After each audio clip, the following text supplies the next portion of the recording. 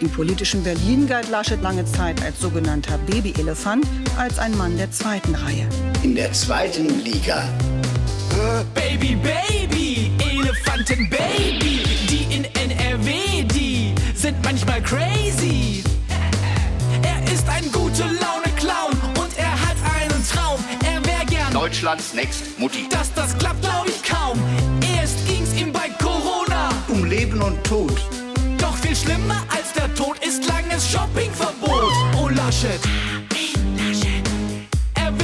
lasch und blass, deshalb hat er sich gedacht, ich profiliere mich. Er macht die Schulen auf. Die Schulen sind überhaupt nicht vorbereitet. Die Lehrer wissen nicht, worauf Alles es gut an. gelaufen ist. In ganz Deutschland gut gelaufen.